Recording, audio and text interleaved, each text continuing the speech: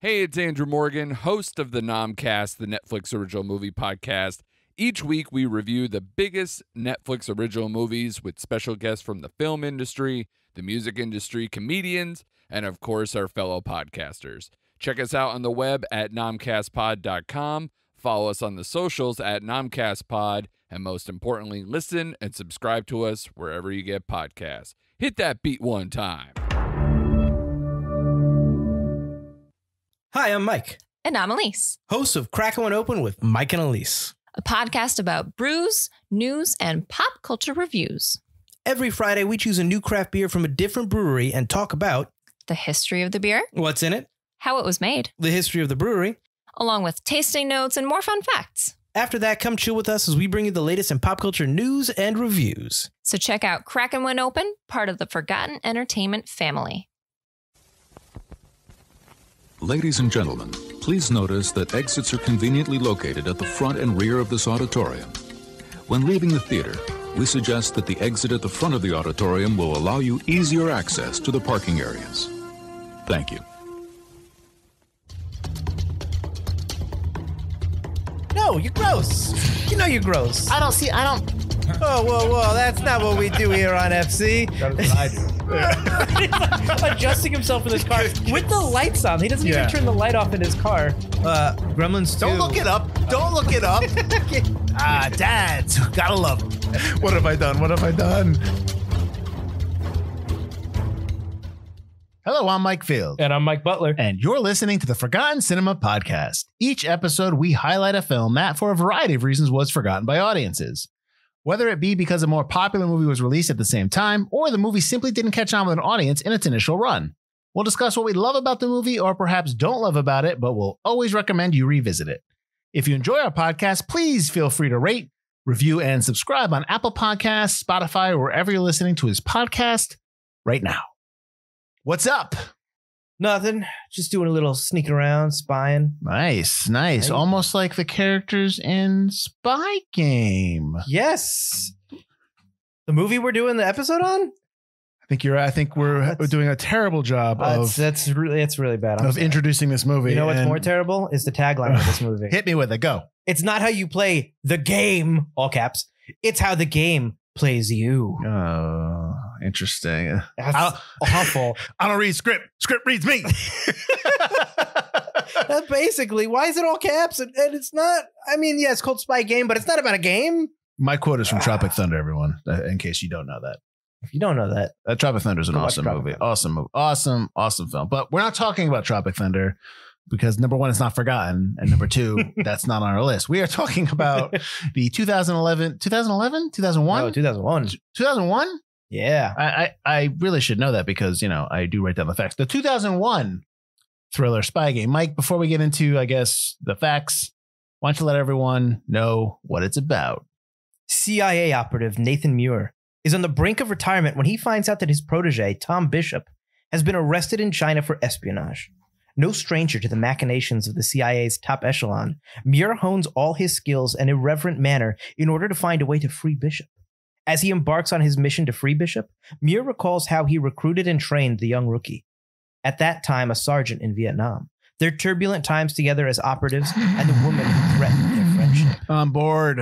I'm already bored. This is Spy Game! It's not how you play the game. It's how the game plays you. Haters gonna hate. I don't know if that, uh, but um, it's I like that word machinations, and I use it often, and I'm wondering if I use it correctly. I don't know if I do anymore. I'm I'm a little. I, I use it quite liberally. I use machinations often. The machinations of someone, I guess the plans and, right. and I don't know. acting out those plans. I don't know. So Spy Game has a runtime of 126 minutes. It's rated R, production budget of 115 million dollars. It came out on a Wednesday, November 21st, 2001, which is the Wednesday before Thanksgiving. So this is a Thanksgiving holiday release, Mhm. Which means the opening weekend numbers are going to be a five-day opening weekend numbers. I don't know if they did midnights back. In, I think they did back in 2001, but I don't know if this movie would have had a midnight. No, back then midnights meant something. Yeah. Like it was a big. well, 99 special release. that was Phantom Menace, and that's when you started getting those midnight No, midnight Right? releases started with the Lost World. Oh, you're right. I'm sorry. My bad. My bad. But that's uh, yeah. But so- even back then, so it's like so yeah, games. but it came out on a Wednesday. So Wednesday, Thursday, Friday, Saturday, Sunday. That's a five day opening weekend release. And it made $21 million. Domestic, it did 62, worldwide 143. Did a lot better worldwide, which is not unsurprising. I think these two actors, uh, Redford and Pitt, have a A big global time. audience, Yeah, yeah. absolutely. Uh, and it also, it does take place overseas as well. So right. Uh, you had uh, three production companies Beacon Pictures, Toho Toa, and Metropolitan Film Export. It was distributed in the US by Universal Pictures and distributed in the non US, I guess, wherever else, by Beacon Pictures. So on that Wednesday, the 21st, it went up against the slate of Thanksgiving movies Black Knight, which is the Martin Lawrence comedy where he goes back in time. I remember liking that, but I watched it in 2001 when I was like 14, 15. So I, I- liked it, but I remember seeing it. I just don't remember like the jokes. I don't remember a lot about it. So it must not have been memorable. I just don't like. I, I like a lot of Martin Lawrence movies, but I don't know if I like them because I was younger and if I'd still like. I liked Blue Streak when I watched it, but I don't know if I'd still like Blue Streak today. Blue Streak's the one where he pretends he's the pizza guy. Blue Streak's the one where he pretends he's the cop. Right. No, I know, but he gets into the because they bury the diamond. Right. Yeah. Yeah. yeah. in the in the uh, they build the new police, the police precinct. station, yes. Yeah. Yeah. Isn't that the one where he walks in as a pizza guy? He's got the. I think so. teeth? That's one of his fir- Yep. first uh, Yep. first things. Yep. Uh, you had Out Cold, which honestly I wrote this down and I don't even remember what that movie is. and an limited release, The Devil's Backbone, which is for your Gu- Guillermo del Toro fans out there, one of his uh, earlier movies. I don't even know about that one. Really? Is it good? Uh, yeah. I gotta check that out. Uh, Friday the 23rd, which I don't know why I even have this because nobody cares about limited releases on, on the Friday after Thanksgiving, but you had Sidewalks of New York and In the Bedroom. In the Bedroom's a really good movie. Uh, the 30th of November, the week after, you had Behind Enemy Lines, the Owen Wilson action star. You also had a limited release, Texas Rangers, the uh, James Van Der Beek uh, movie with Dermot Mulroney. Do you remember that? No. Yeah, no, don't worry about it. And, and then The Affair of the Necklace, which is with uh, Hilary Swank. Sounds boring. Yes, it, it, it, That's a that's a boring title. The week before, the 16th of November, I'm going to tell you, I'm going to give you a movie, and this is why probably Spy Game only did $21 million opening weekend. A little movie called Harry Potter and the Sorcerer's Stone, Oh, I've never heard of that one. or as it's known in England, Harry Potter and the Philosopher's Stone, which is what they should have just called it because we we're adults and we can take a longer title, but whatever. They- Is they- that why they called it the? it was Stone? it was the Philosopher's Stone in England when the book came out as well, and then when it came out over here, it was Sorcerer's Stone. I know that, but I didn't Yeah. know why they changed the Uh, title. who knows? Who knows? but the Philosopher's Stone is Who a real cares? thing. Yeah, exactly. Like Yeah. why why does it why does it matter? Why does one word matter? Like we're not going to read the book? What's weird is they call it the Philosopher's Stone in Fantastic Beasts when he. uh Yeah, I know. unlocks it. So Good. Like, uh, I know. I don't know. then you had the Wash, which is kind of like Car Wash. I think that was from the seventies. It was like a Dr. Dre and Snoop Dogg vehicle. oh, I think I know what that Yeah. Okay. And then in a limited release, you had Novocaine. Uh, so for anyone out there. Uh, so let's see. Director Tony Scott directed this movie. He has done movies such as called as Top Gun. I don't know if you ever heard of that. The Last Boy Scout, Beverly Hills Cop 2, uh, which I did not know he did Beverly Hills Cop 2, but then I was like, oh, that makes a lot of sense because you can definitely tell the difference between number one and number two. It's got a lot of Scott stuff. Oh, yeah. I find that interesting that Tony Scott did it because you didn't list Scott Free Productions. I don't remember if I saw that as one of the production companies. No, that was probably before Scott Free. Before they Oh, did Scott that. Free was okay. Oh, they didn't. They didn't. Ridley Scott and Tony Scott weren't. they didn't make. they didn't produce that. production Yeah, no. I mean, Okay. they probably didn't have like a, a shingle, as they call it, until back like then. later. Okay. Yeah, yeah, yeah. You had a story screenplay credit by Michael Frost Beckner. He's done Sniper. Actually, he's done all the snipers. All Wait, all of them? I believe so. Even the TV show. He wrote the story for Cutthroat Island, and he did the TV show The Agency. I think he does a lot of obviously military intelligence spy stuff that kind of i think Right. that's his that's his wheelhouse except for cutthroat island of course screenplay by david arata uh, he was nominated for an oscar for children of men nice. he also did Broke Down Palace and The Angel. Cinematography by Dan Mindel, who has done cinematography for Star Wars 7 through 9, which is the new ones Force Awakens, Last Jedi. Well, no, excuse me, not Last Jedi. Force Awakens and Rise of Skywalker. He also did Star Trek 1 and 2. If you get the connection there, it's J.J. Abrams. And then he Mhm. also did John Carter, which is now called not John Carter from Mars anymore. It's called John Carter. They've renamed I it I love when they renamed it. The, just the like things. just Live, like Birds of Prey. How about when Birds of when Birds of Prey first came out? It was like Birds of Prey and the Emancipation of uh, what was her name? Uh, Harley the Quinn. Emancipation Of Harley, Quinn. Yeah. it's like and then that immediately after the first week that was gone. I love that title. I liked how like they just didn't care. That title's annoying because it's so long and it's so obnoxiously long. It'd be fun to put on a uh, the old sticker uh, billboards for the theaters. True. Oh, you imagine that? yeah, right. You need some overtime. Composer Harry Gregson Williams. He did Enemy of the State, The Rundown, Gone Baby Gone, and the TV show Whiskey Cavalier. And I only have that in there because I like that name. Have we talked about Enemy of the State before? That's the Like- yeah when we did the conversation because Enemy of the State is supposed to be like a sequel to the conversation. Supposed to be Oh, never mind. That's I'm thinking of a different movie. behind enemy lines. No, what? I can't remember the name. of it. The one with the snipers takes place in Russia. That's Rachel not- Weisz is in it. Oh, um, that's uh, that's with Jude Law, right? Yeah. And uh, fudge. Maybe that's behind enemy lines. No, that's the Owen Wilson movie. That's the Owen Will Wilson. Yeah, I can't. What remember is the name that? What is the Jude Law one? It's something like Behind Enemy. It's a very similar title. Enemy at the Gate. Yes, Enemy at the Gate. Never that's mind. with Jim Caviezel too, right? I think he plays the other sniper. yeah, yeah. I remember really liking that movie and wanting to put it on the Is list. but I that could never remember. forgotten? Hmm. I think it's forgotten. That might be. I think you could put that on the list. I remember really liking it. I think you could put that on the list. Absolutely. Edited by Christian Wagner, as Butler puts on the list.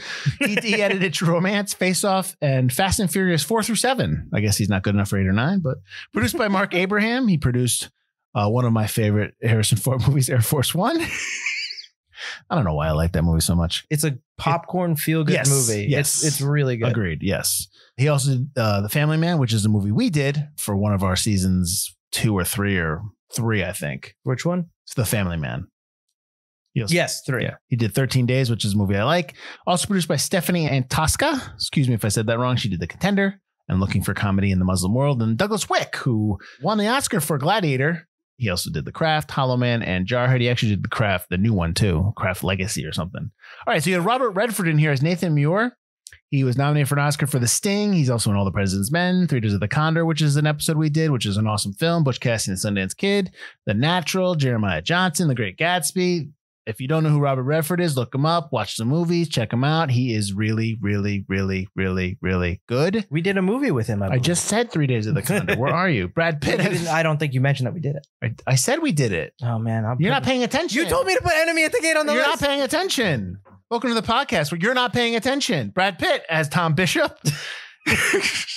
he won the Oscar for acting in Once Upon a Time in Hollywood. I say that because he also won an Oscar for uh, producing 12 Years a Slave. Mhm. He also was nominated for an Oscar for Moneyball, 12 Monkeys, and The Curious Case of Benjamin Button. He's also in the Ocean's Trilogy. Catherine McCormack as Elizabeth Hadley. She was in Braveheart, The Tailor of Panama, which I think that's the movie that I confused Palmetto with, by the way. you son of a bitch. And 28 weeks later, Stephen Dillane as Chris Hark, Char- excuse me, Charles Harker. He is more notably as he's Stannis Baratheon in uh, Game of Thrones. That's the first thing I shouted when he appeared on thing. I it's Stannis! he's also in The Hours and Darkest Hour. Larry Bryggman as Troy Folger. He's in TV. Uh, this is I'm going to tell you why I have this guy in the movie. Larry Bryggman as Troy Folger. He is in a TV show As the World Turns, the soap opera. He's in like a thousand episodes, and he's in uh, Justice for All. But I kept watching this movie, and I'm like, this guy is somebody I, I could tell by the voice. I, I can't place him, and the reason why I couldn't place him because he had a mustache in the movie that I remember when he was in Die Hard with a Vengeance. Mhm. And I was just like, I know this guy. And it took me an hour before I realized it was Die Hard with a Vengeance. This guy who wakes him up when he's like uh, talking about. yeah, I know. Yeah. I know, I know. Uh, you had Maureen Jean Baptiste as Gladys. She's in the TV show Without a Trace. Fat Man, the movie Fat Man. She's also in the new season of Jack Ryan, which I didn't know. And she, I know her from, uh, she busted onto the scene uh, in Secrets and Lies, which is a movie that came out in the 90s, which I really like. And then I've got a couple people in here that are just kind of like background characters that are there for are there for a hot second, they're gone. so you have Benedict Wong in here as Tran. He obviously for all those uh, Doctor Strange fans out there. I like Benedict Wong. Ken Leung as Lee. He is in the Lost TV show more most notably, but he is uh, you know Wong and Leung are everywhere. You probably see them in a bunch of stuff. And then Charlotte Rampling as Anne Cathcart, who was nominated for an Oscar for 45 years a couple years ago, and she's also in a movie that we did Butler, which was I don't know. DOA. You suck at this. I do suck at this.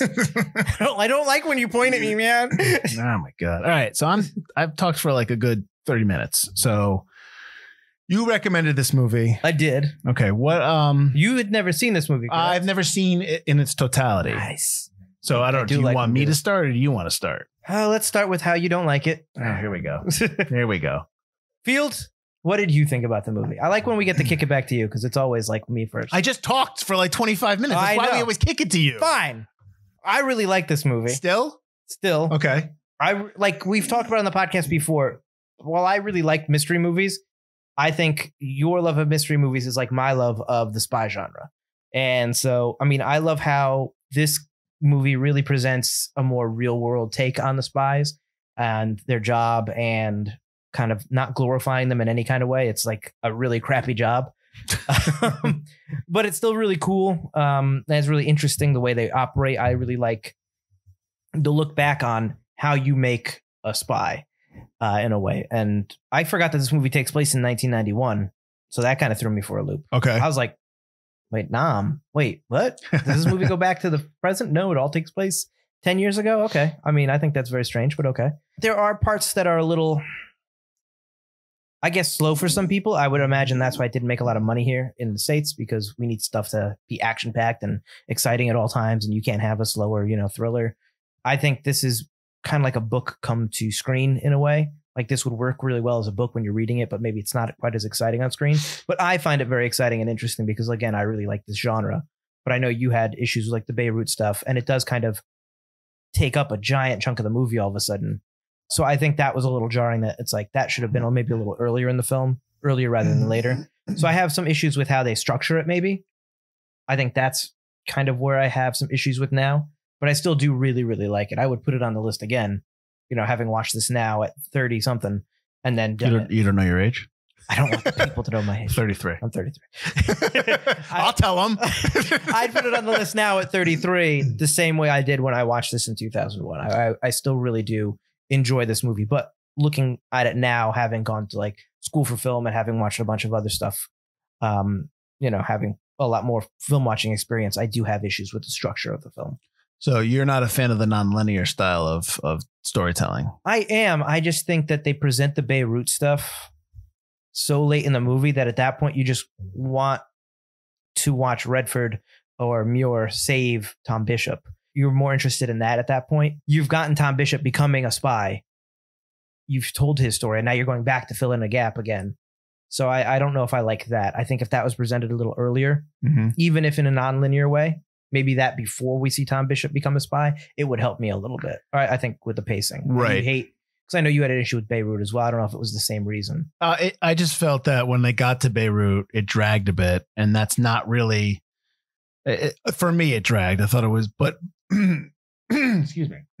So when they got to Beirut, I thought it dragged a bit, uh, but I know why it dragged because they needed to introduce the Hadley character, the woman he falls in love with, in order Right. to understand why he breaks into the Chinese prison to to rescue her. So it's you, you need to have it in there. I know that, but you almost need to have it in there more because you all and there's a- the note here that I have a lot of times is that Tony Scott wanted more of the romance on screen, but the producers are like, no. And so most of their romance is left off screen. So what you have on screen is belief that maybe she's still playing him. You know what I mean? Like Yeah. you don't really get any kind of sincere moments on screen because there's not enough of them. I get that. Yeah, absolutely. So yeah, so that, I think that that that hurts it.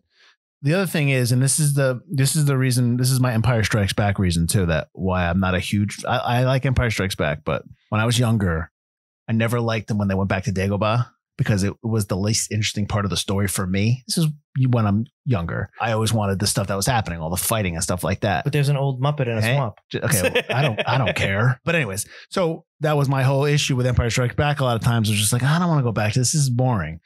But in here, I was more interested in everything happening in the boardroom with Right. Redford than I was every time they went back in t- in time to show Brad Pitt's maturation f- to sniper or, or what have you. Some of the stuff was interesting. The Vietnam stuff was interesting. It just I was more into the boardroom stuff. Mhm.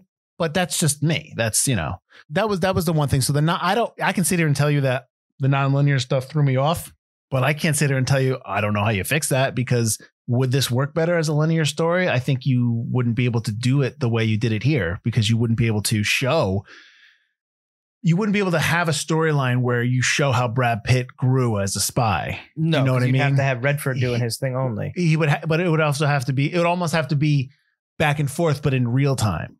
You know what I mean? Not like you'd have to have a different story, Right. So and uh, so you can't. re- That, that's not the story you can tell. So the nonlinear aspect makes sense, uh, but I, it just it kind of you you kept going back and forth, and then when you get to Beirut, you you you were stuck in Beirut for a while because you had to A be very long time. Yeah. and it just kind of it kind of dragged a little bit. What if they peppered? What if they cut up Beirut and put it throughout the entire thing?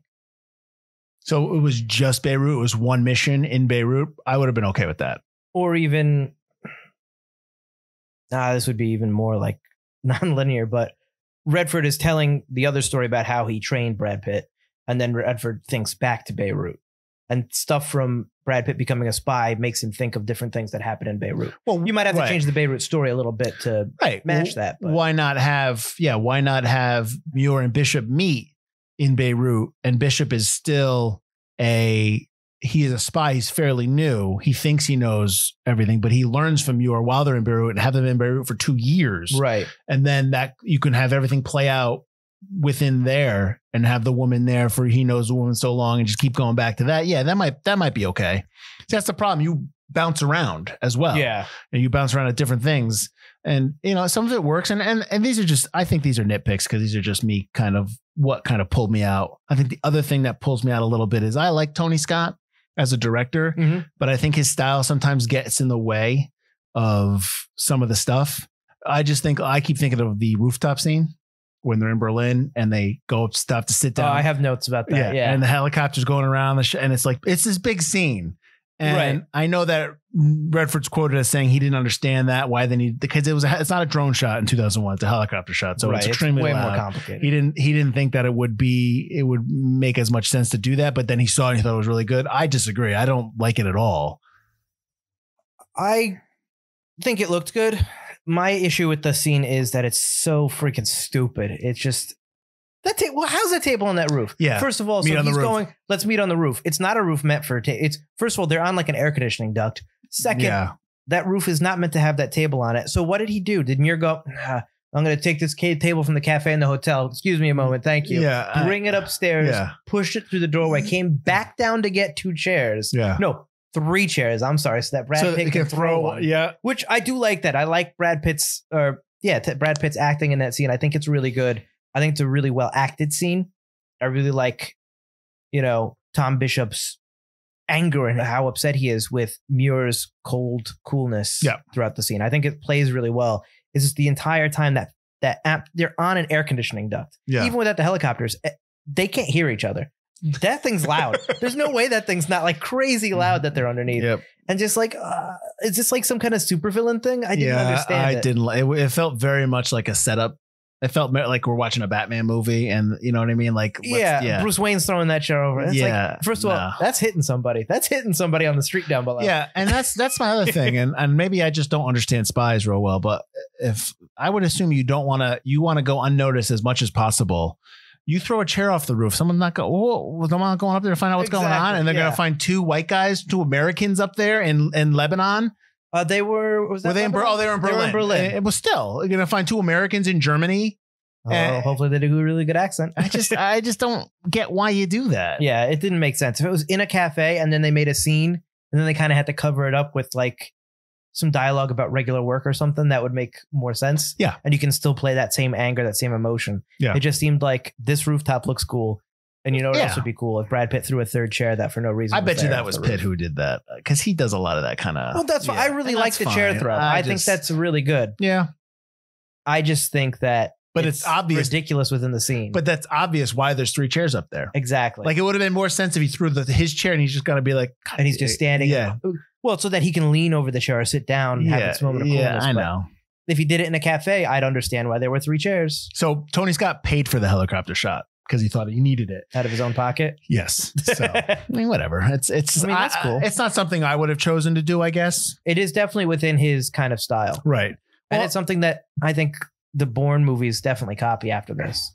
Well, which well, there's two different. There's different directors for the Bourne movies. I think both. I think You think the Doug Liman Bourne? the I think Doug Liman and the Paul um, Greengrass. Paul Greengrass ones would also would both Uh, see, I think see. Paul- There's there's some carryover between both styles, but they're not totally different. And I think that some of it kind of takes this Tony Scott modern spy movie aesthetic. Well, let me uh, moving aside the the spy stuff. Let's talk about Tony Scott and his style. Before there was Tony, before that was Mr. Scott, yes, you didn't see action movies like the way he directed them. And now, you know what I'm saying? Like, can you Oh. think of somebody before before him? he's. I think of Tony Scott as like a more honed in in control, mature Michael Bay. Well, that's what I'm saying. Because what I'm saying is that don't you think Tony Scott and and in some instance maybe James Cameron influenced the way action films were from the mid 80s to the 90s? Absolutely. Okay, so then you would put Michael Bay in that as an influence. You put Jan de Bont from Speed Yep. as an influence. Richard Donner maybe to an extent with the Lethal Weapon movies. Oh, absolutely. Okay. Yeah. Peter Berg as well. From Would you- well, think of the rundown. Think of Battleship. Think of think of Well, those Peter Berg's action. oh, I thought you were just talking like '90s to early. I'm talking like about. I'm talking general, from from today. then till now. Okay, yes, and Peter Berg. Well, yes. okay. Well, then give me anyone because I can't think of anybody else. but even Peter Berg a little bit. I think Peter Berg is more like Bay. From uh, I was gonna say, I think he takes more from Tony Scott because I think he's a more nuanced version Right. of that again, right. and he has like Bay's got a lot of that style, but Tony Scott adds grit as well, which I think Berg also takes a lot of. Do you think that they add substance? Are they just all style? I think if used correctly, like the helicopter shot might go around and stuff like that, might it's going around. It's very like haphazard. It's kind of also showing the emotion of the character in Sure. a way. Sure. So I think yes, sometimes it's just style. Sometimes it's just this is going to look good for the trailer. Yeah. But sometimes it's it adds substance. It's something that kind of subconsciously makes you feel the scene a little bit more. Right. And to be fair, there's nothing wrong with more style than substance, or there's nothing wrong with your f- having awesome style and your As substance. you When we talk about substance, yeah. we're talking about the script and the and the movie. As long as your script and your movie is f- just fine, it just has to be like Top Gun. Or Right. like Beverly Hills Cop 2, or even with Michael Bay, like The Rock. That's the only one I'll ever do. Uh, you know, like I do not like Transformers movies. Armageddon. Armageddon's Armageddon's got some decent moments. It's just a little long, but that's fine. It's a big summer movie. It's Right. not- yes, but I'm saying that's like Peter Berg, like Battleship is, mm.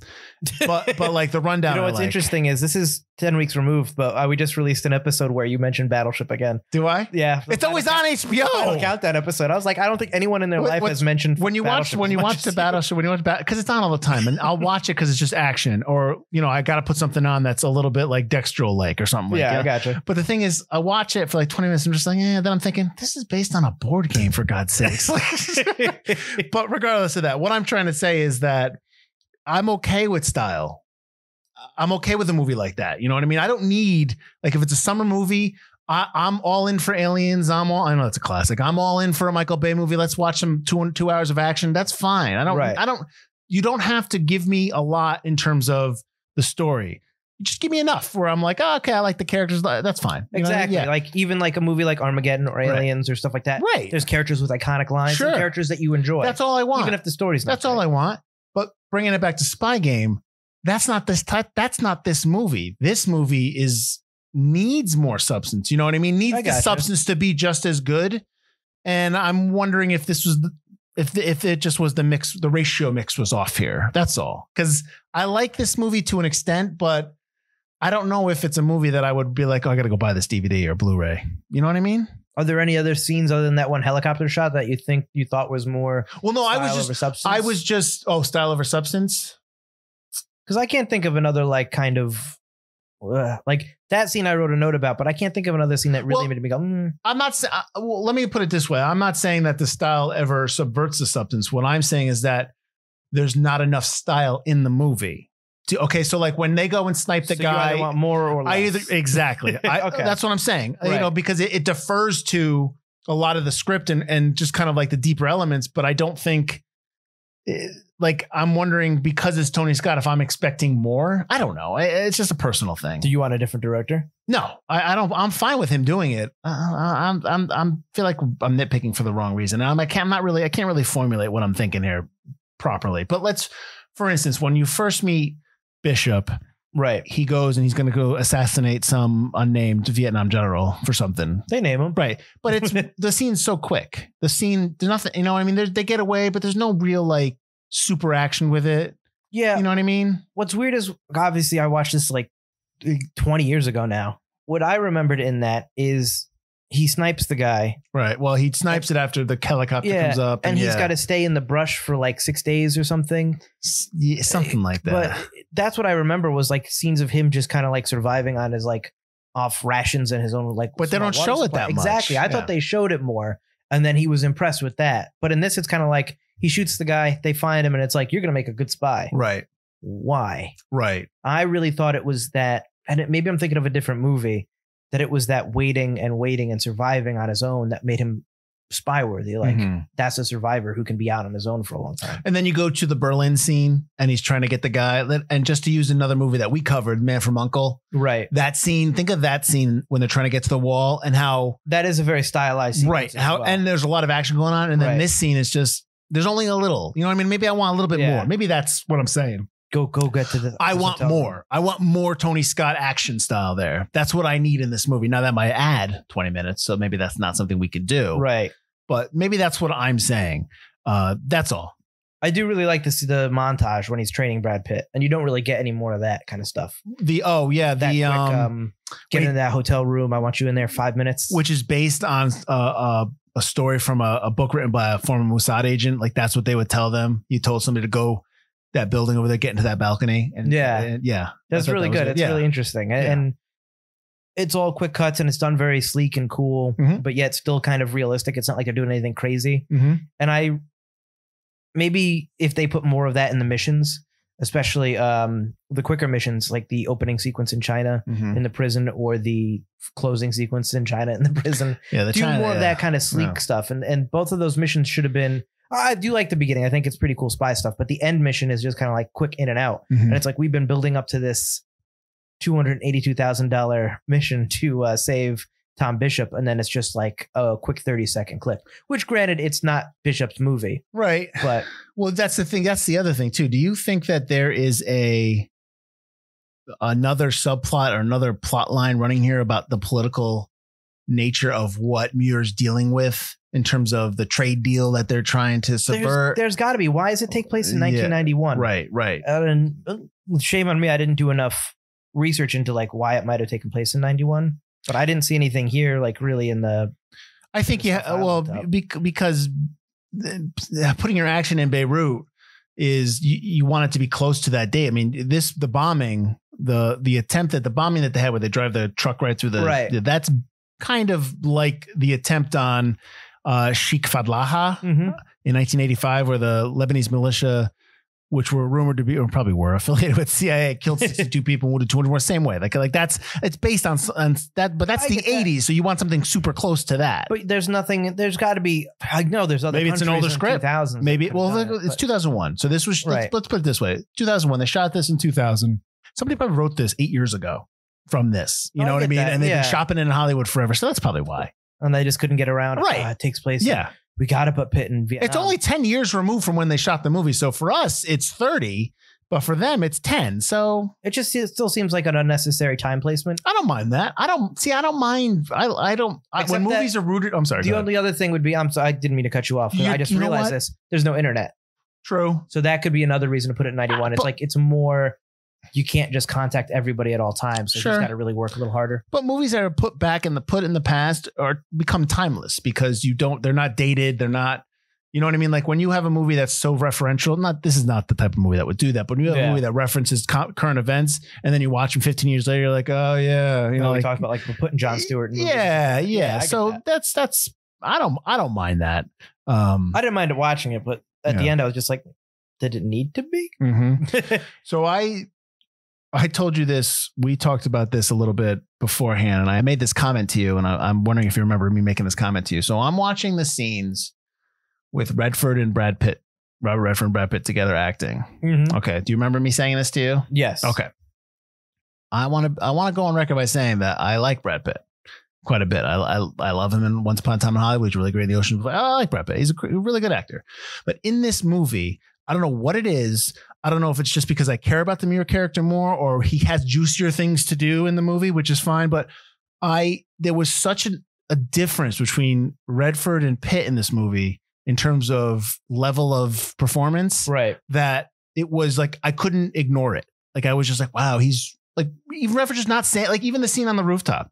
And I know Brad Pitt has to be pissed in that scene. I know that Bishop has to get upset. Right. And and uh, Muir is just cold and calculated because he's you know the vet He's who's done it yeah. for, before. Yeah. I don't maybe I just found that more fascinating, but I don't know. I just I was just like, wow. I was more impressed with the Muir character maybe than I was with the Bishop character, and that maybe has nothing to do with performance. Maybe that just has to do with writing. But I don't know what you thought about that. Yeah. See, you had mentioned that to me before I rewatched the movie. For this. Okay. And so I'm trying to look for that, and I, I just didn't see it. I think you just a you really like Robert Redford Because he's awesome. uh, he is great, but I think that yes, Redford has to play his character a lot more close to the chest, a lot more cool and Mhm. cold, especially in regards to Brad Pitt. That he comes off as a better actor because he's always keeping Yeah. it cool. But Brad Pitt, I think, does a really great job in this role. I think that you know he's got these moments of being suave. He's got this angry, upset. He's got a lot more. He's he's a lot more outward than inward. So it, I think it maybe shows that oh well he's just overacting or this or that. But I think he does a, a really fine job. But I think when you look at Redford, Redford is always so cool in every scene, and then in the flash forward or the scenes in 1991, the boardroom. the boardroom, he's just so It's his movie. Eh, cavalier It's his and so interesting and so likable Yeah. that you're instantly it's it's tough to really like Brad Pitt. You feel for him and, and you kind of like, oh man, he's in shitty situations at all times in this movie. Mm-hmm. But Robert Redford, even though you see him do some really crappy things and you can tell that he is cold, he is he does what needs to be done. He is so cool and suave that you just kind of root for him a little bit more. See, but okay. Well, just back to Pitt's performance.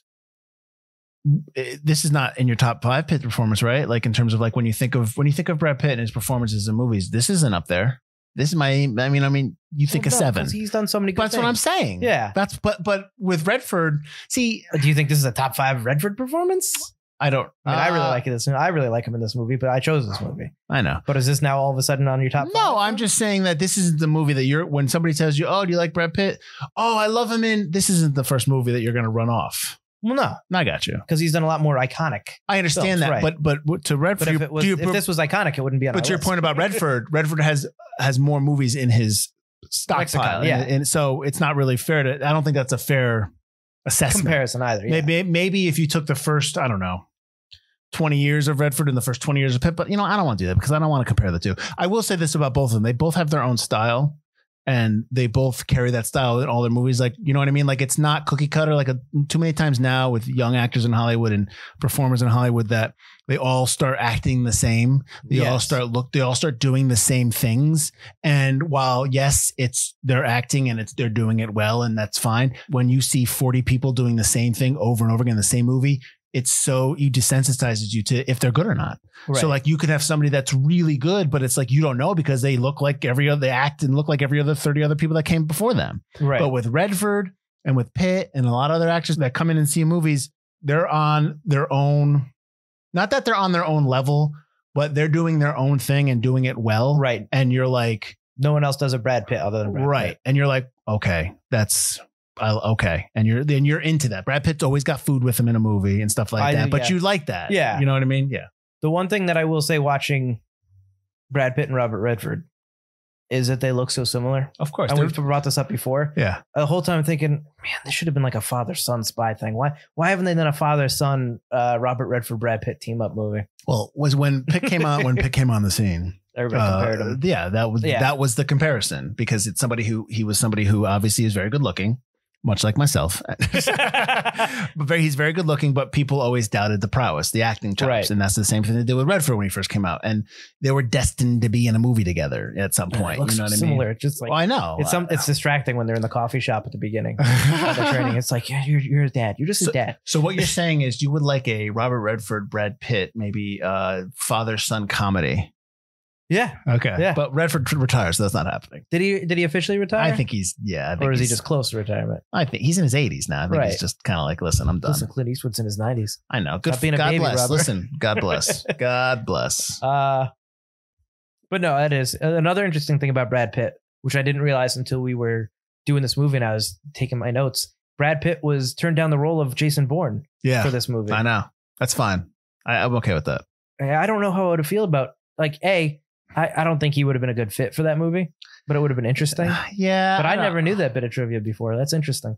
Uh, uh, I mean, But it's we, tough we're also because just it's- comparing this to. and, um, it's that's Damon's character. Um, but I will say this, even though we're on the Bourne stuff, I prefer the Greengrass Bourne than I do to Doug Liman's Bourne. Um, I- I, I really like do. Identity. I'm Supremacy is okay.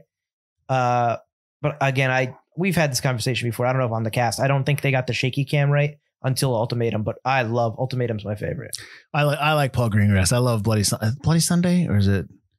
I think, or is it Sunday Bloody Sunday? Bloody Sunday. I like. I really like. Hey, listen, when you do a movie like United '93, where you know how it ends, and yet you think they're gonna, you think it's gonna end the other way. You think it's like that's impressive.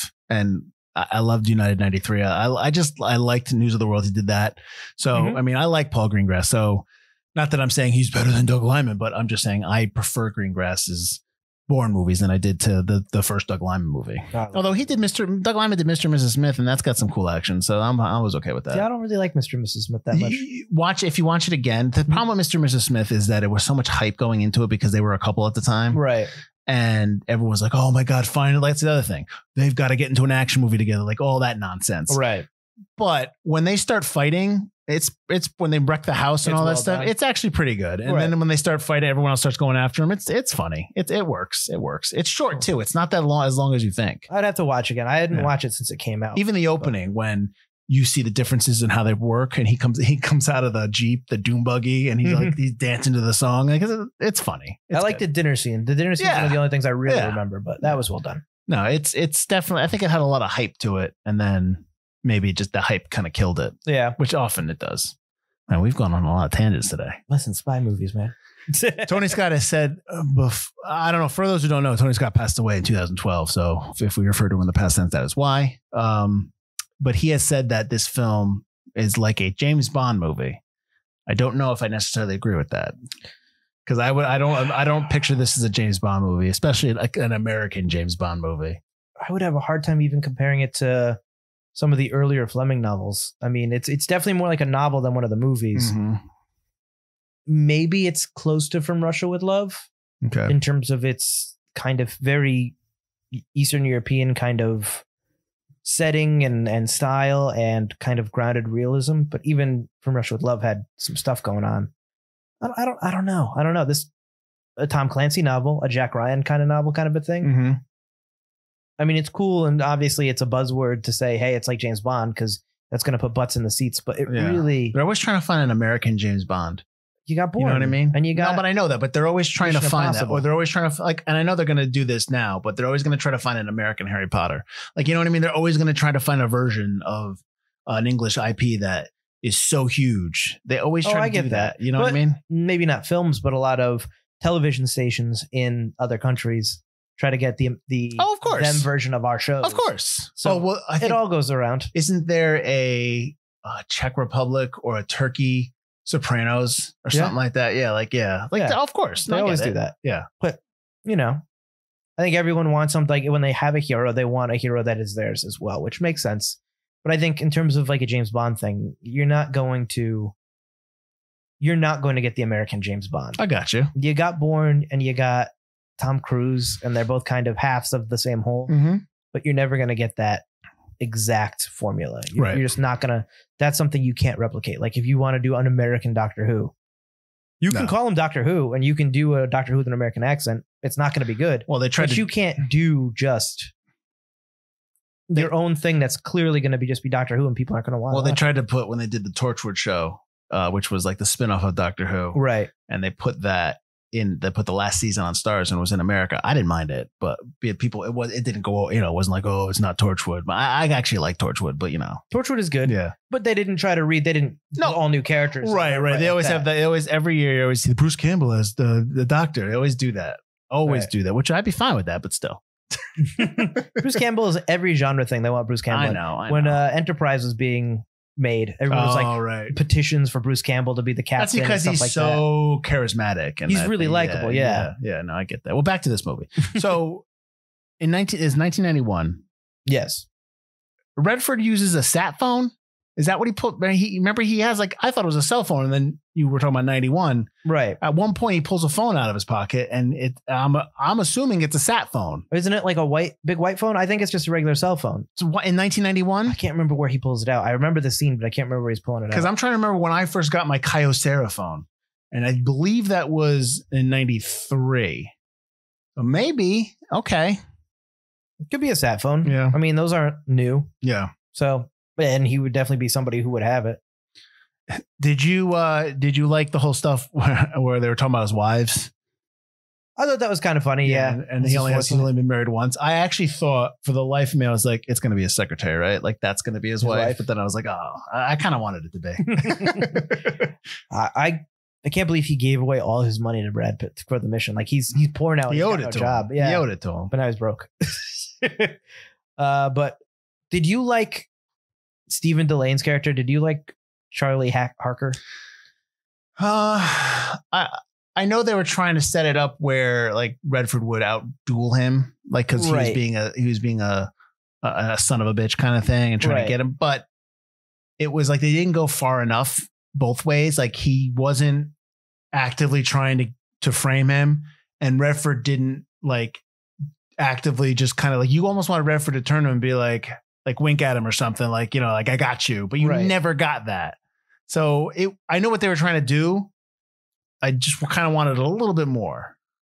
Yeah, I wasn't. I wasn't a big fan because he kind of came off a little too villainous. Yeah, yeah. Like they're they're on the same side. You guys are like not like I get that you're trying to maybe set up Tom Bishop as a patsy. I would have liked it more if it was a, a more playful kind of competition, Maybe. or b mom- give me some moments where it seems like Charles is actually on America's side. Like he's not just like a backstabber, just like a son of a bitch. Well, they're trying to get Bishop. They're trying to. They're and trying to a find a way. villain. He says trying to find a way to to pin this onto Bishop so that they can disavow it.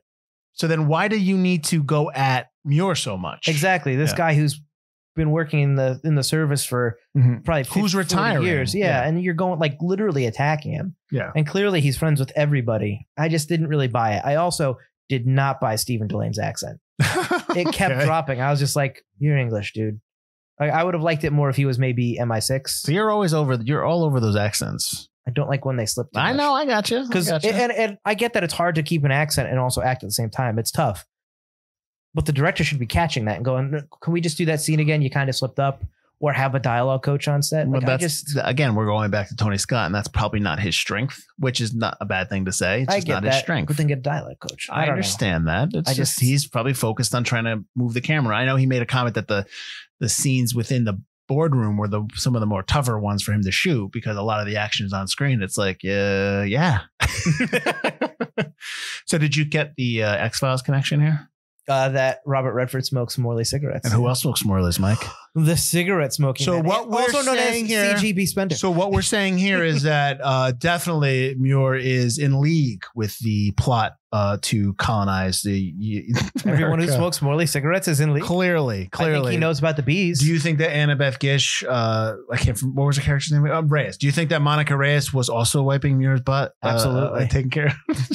Whoa. the ridiculous turn. I don't know why she did that. Okay, go ahead. it's it's stupid.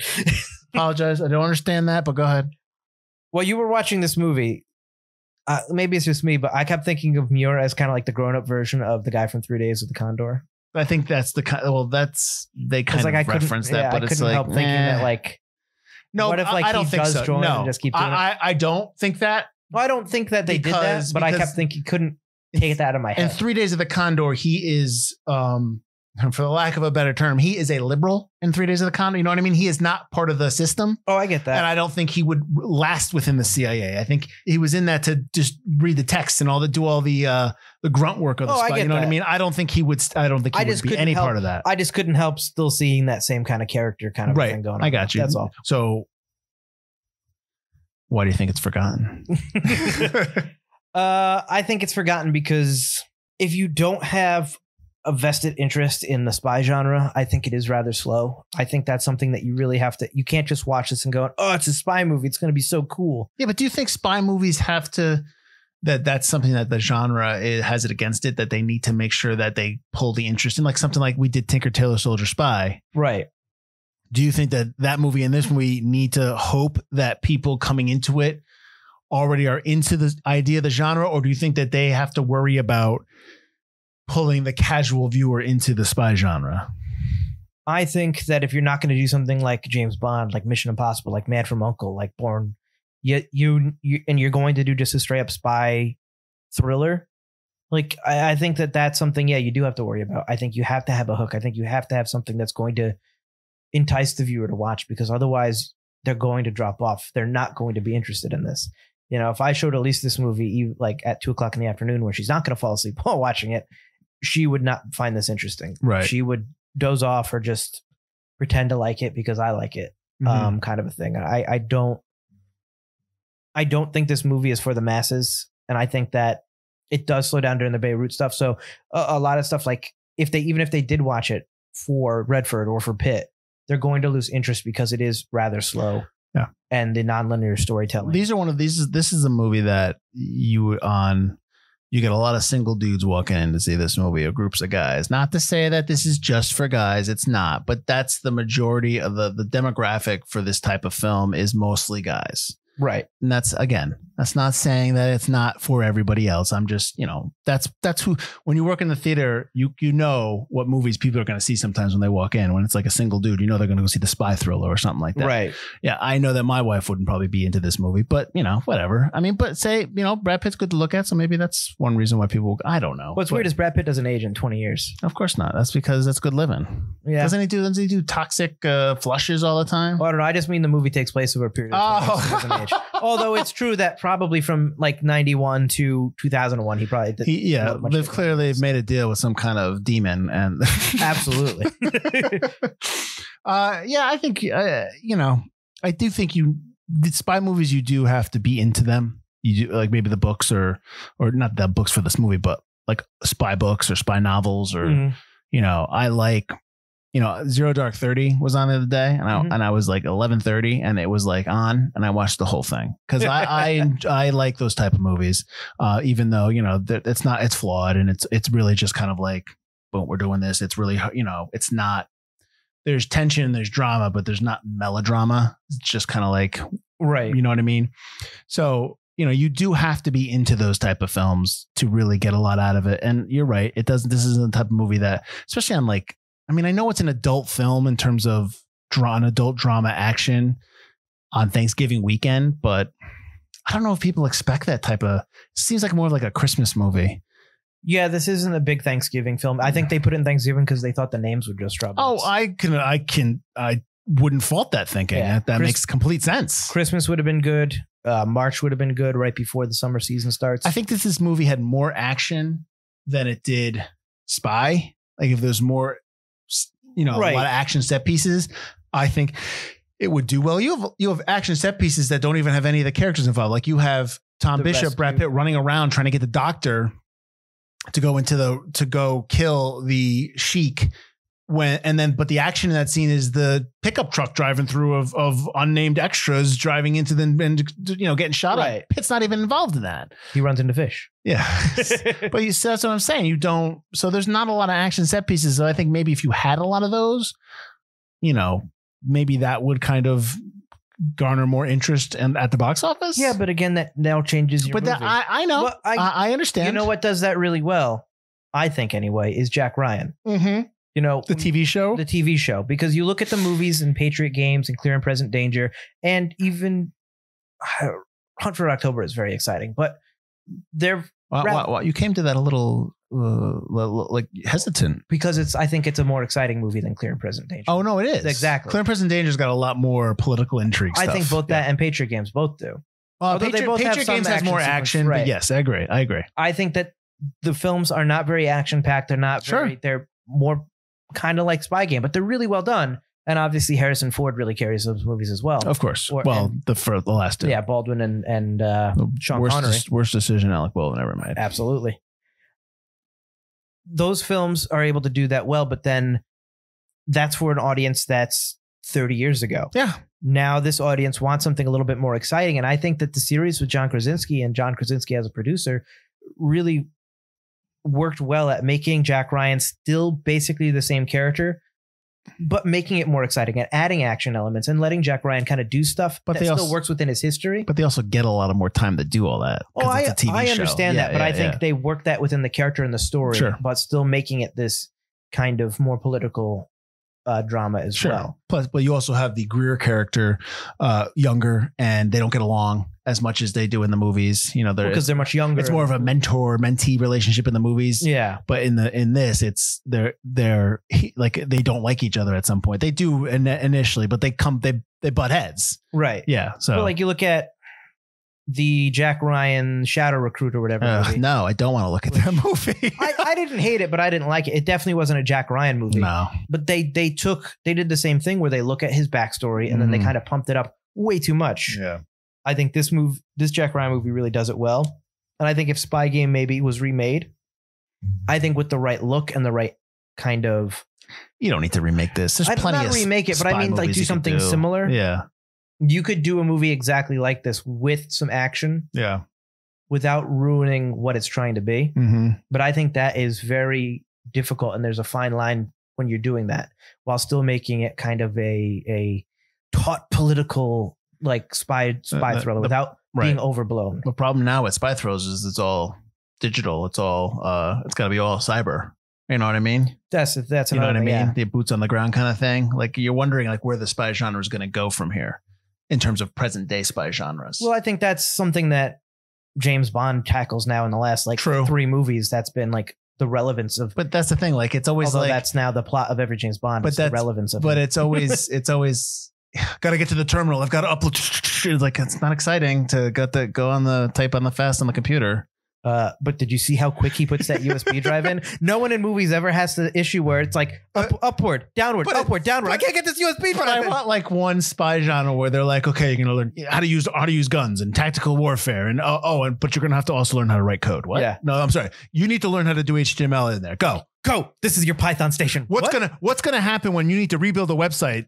What's gonna happen when you're gonna have to do that? Well, funny story. Uh, another spy movie that I put on this list, The Recruit, kind of deals with that a little bit. Uh, the recruits in the '90s too, though, right? No, The Recruit is sometime uh 2000s. That's with that's as with well. Colin Farrell. Colin Farrell. Yeah, it's the 2000s. I, I know what you're talking about. Al but that all, that Colin does kind of deal with more like trying to get people that are more Ah, versed in that yeah. world. Oh yeah, no, I got you. Yeah, yeah, But you're right that most of them don't do that. yeah. Now Yeah. it's all like you know, it's I don't know, interesting. All right, I guess we're done.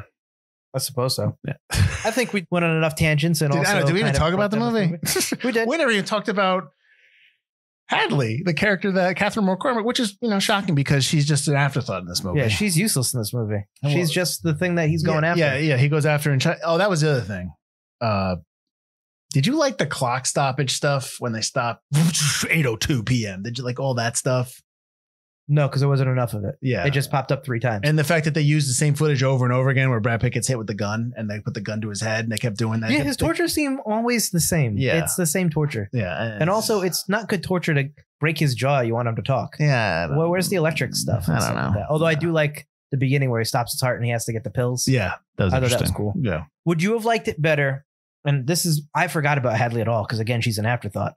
Uh, would you have liked it better if the person he's going after is like his Vietnamese guy's like daughter or something? Is then like a like it wasn't a love interest. it wasn't a love interest. He was helping out that Vietnamese guy, and maybe the Vietnamese guy dies. I think maybe so then if he's got to go after that daughter. She uh, becomes an activist or something. Yeah, I think maybe if it's a choice that he's making to Right he- wrong. he's making a yeah, um, an emotional decision not based on his love, but an emotional decision to try to right some wrongs in his life Because I try think to that be works like better Muir. with his character. Yeah, I think you're adding up, but you you're gonna have to do a lot more rewriting in terms of Oh, Beirut goes away, yeah, yeah. or the, goes the Hadley or stuff Beirut becomes just, like he finds her as an activist. it's just it doesn't make it again i think tony scott was right in saying that he wanted to have more of the romance on screen because you don't get any of it so you, that's the byproduct of me go, me and you sitting here going what is she what is she doing like, it doesn't come in yeah. until like an hour into the movie. yeah or like it's the daughter uh it almost would be like if he had to go back to beirut instead of going to china i don't know i mean the whole thing with china is like why but like right. if the do- if the doctor that he sent into the uh, building that dies, his daughter or something is kidnapped, or and he's or he goes to just because he because you he know, wants ruined that family, Yeah. right? That makes more sense to me, and uh, like the whole thing, like everything taking place in China was just like. Why? Because it's China? Because the trade talks happened yeah. in 1991. Well, I- like- why why does it have to be so political? Why can't it be personal and just make it you can do the same plot line where they want to they want to disavow him. because because- made a national incident. out of it. right. Right. So why not just do that? Yeah. But it would work with, well within the theme of the movie, which got you. kind of gets ruined. Yeah.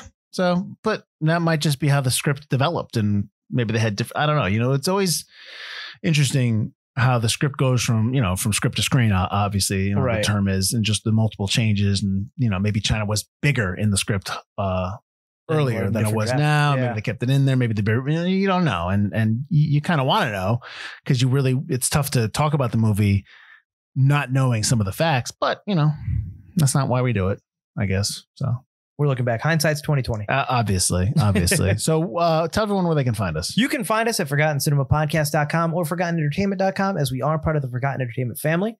You can also find us on the social medias at Forgotten Cinema or Forgotten Cinema Pod, and we post pretty much every day of the week. You can find fun commercials every Thursday that we do.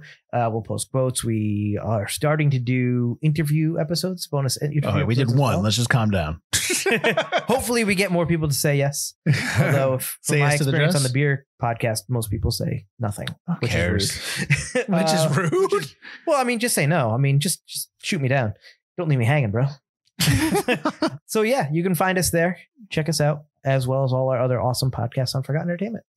Nice. And join us next week when we will be doing a movie from my teenage years, Butler, and your early single digit years.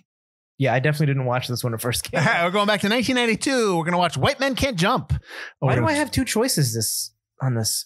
Or no, No, because we you got you got double choices because because of Frankenweenie. yes. Okay, that's why. Okay. No one, no one needs to know the mac, the machinations of behind I'm the just wondering. I got that word in there again. Nice. Yeah. All right, so uh, that's it. That's next week. White Man Can't Jump. Wesley Snipes, uh, Woody Harrelson, Rosie Perez, Mike Butler, Mike Field. I'm Mike Field. I'm Mike Butler, And and, this has been Forgotten Cinema. And I was not in White Men Can't Jump. Well, you can't jump though, and you are white. How dare you?